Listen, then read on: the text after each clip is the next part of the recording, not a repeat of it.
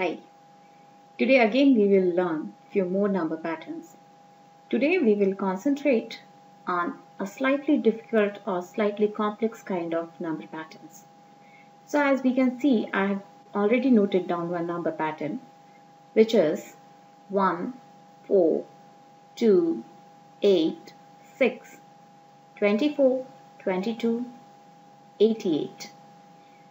So if we see it carefully, it is actually neither in ascending order nor in descending order. See, here the first number is 1. Then we have 4. And after 4 we have 2, which is less than 4. Right? After 2 we have 8, which is more than 2. And then we have 6. 6 is again less than 8 right.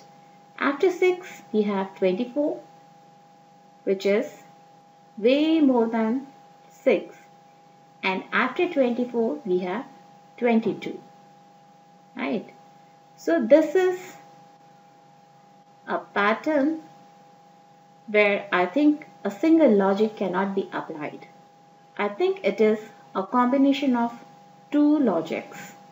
So to find whether it is a combination of two logics, we'll follow a few steps. Okay, first step is let's find the differences. So the difference between 1 and 4 is 3. That is, if we add 3 to 1, we'll get 4. But the difference between 4 and 2, that is 2 minus 4, is actually minus 2. Right? And the difference between 2 and 8 is 6 and the difference between 8 and 6 is again minus 2 8 minus 2 is 6 and the difference between 6 and 24 is 18 right?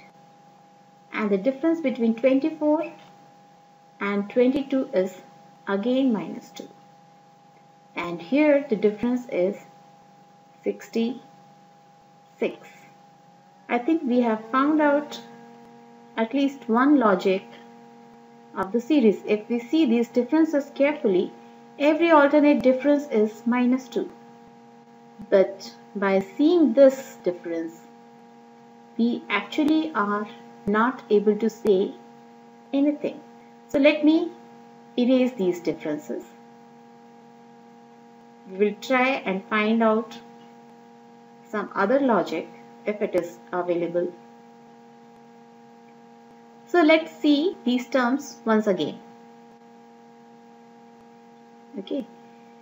So what is the relation between 1 and 4? 4 is actually 4 times 1. So if we multiply 1 by 4, we will get 4 and 4 minus 2 we are getting 2 this logic is perfect no problem. And now let's find the relation between 2 and this 8 oh it's again multiplied by 4 so if we multiply 2 by 4 we are getting 8 right? And let's find the relation between 6 and 24 6 4s are 24 so again this is multiplied by 4 right.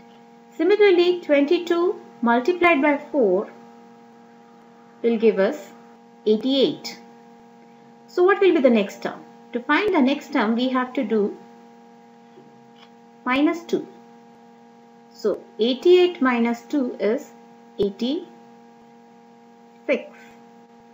right.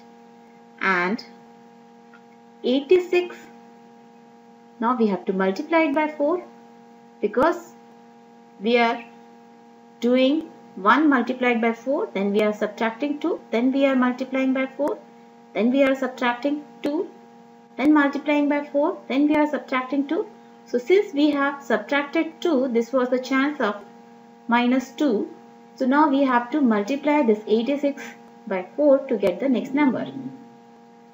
So 6 4s are 24 4 8s are 32 plus 2 is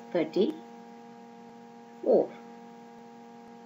So the next term is 344 and to find the next term after 344 will be we have to do minus 2 this time and we will reach 342. So what is this series? The series is 1, 4, 2, 8, 6, 24, 22, 88 and we have recently found three new members of the series. They are 86, 344 and 342. Right? So this is we have found out the series. Now let's try and write it in general notations. So again, let's fix the first term. T1 is equal to 1, right?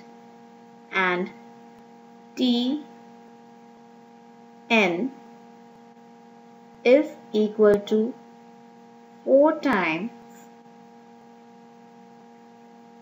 Tn minus 1 where n is even. All the even terms are actually 4 times their previous term. So Tn is equal to 4 times Tn minus 1 where n is even and we have to write one more logic for the odd place terms where Tn is equal to Tn minus 1 minus 2 where n is odd. So this is the general notation of the series or of the number pattern.